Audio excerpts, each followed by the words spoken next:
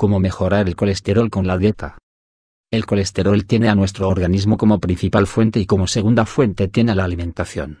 Se debe considerar el perfil lipídico para así saber el tipo de dislipidemias, alteraciones de las grasas en nuestro torrente sanguíneo, y cuál es la dieta que se debe seguir.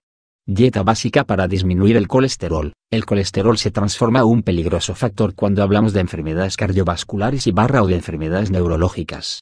Por esto, para combatirlo es muy importante tener un muy buen funcionamiento del organismo y por sobre todo cuidar nuestra alimentación. Iniciando porque cada persona presenta un perfil diferente y que por esto mismo es que hay varios tipos de colesterol. A continuación proponemos una dieta que contribuye a la disminución del mal colesterol, LDL, y a la misma vez que ayuda a la pérdida de peso.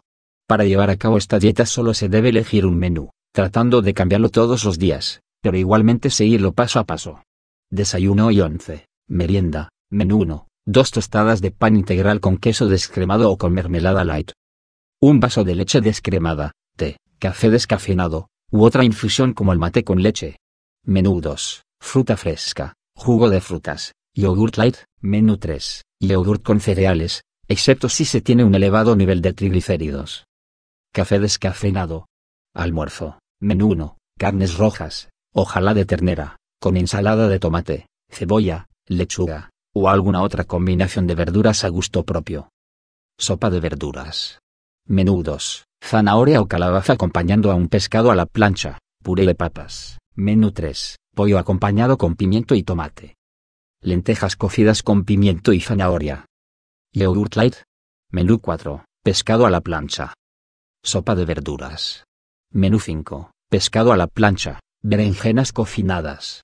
Menú 6. Filete de pavo a la plancha con tomate o espinaca. Fideos con salsa de tomate, que no tenga queso. Menú 7. Pescado a la plancha. Ensalada vegetal, cebolla, tomate o pimiento. Menú 8. Yogurt light. Sopa de verduras. Milanesa al horno, o frito con muy poco aceite y preferentemente de oliva. Cena, menú 1. Sufle de calabaza, calabaza mezclada con dos claras de huevo batidas y al horno.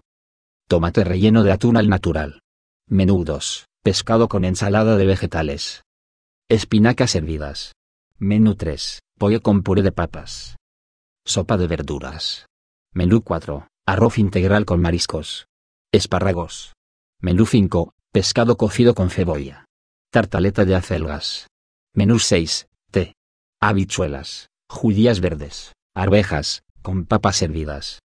Dos porciones de pizza con queso o un plato pequeño de fideos. Menú 7, choclo hervido. Pollo con ensalada. Menú 8, espárragos hervidos. Pescado al gusto. Además de estos menús, le recomendamos unas ideas para hacer que esta dieta sea más fructífera y se pueda gozar mejor de sus resultados.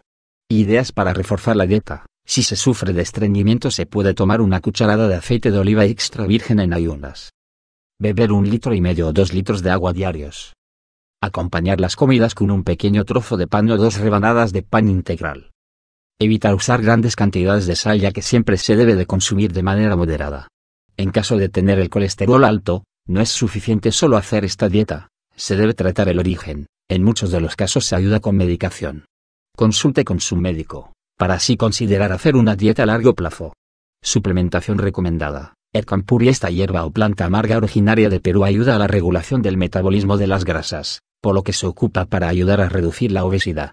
Hepatoprotector y ayuda a reducir el colesterol y triglicéridos, y estimula la secreción de los ácidos biliares haciendo que bajen los niveles del colesterol malo. Chitosan es una fibra que ayuda a atrapar la grasa, y a eliminar el colesterol malo. Además estimula la digestión facilitando así, a la baja de peso. Vinagre de manzana ayuda a bajar los niveles de colesterol en la sangre ayuda a que el colesterol y grasas triglicéridos se mantengan en forma soluble permitiendo su eliminación. Eleva la producción de enzimas que se relaciona con la digestión de las grasas. Es altamente recetado para diabéticos, por sus propiedades depurativas sanguínea, ya que baja en un 25% la cantidad de azúcar en la sangre. Resveratrol es un antioxidante muy potente que previene en un 40% las probabilidades de que aparezcan problemas cardiovasculares eleva el colesterol bueno permitiendo la eliminación de colesterol malo y triglicéridos. Mejora también la digestión de las grasas a nivel del hígado,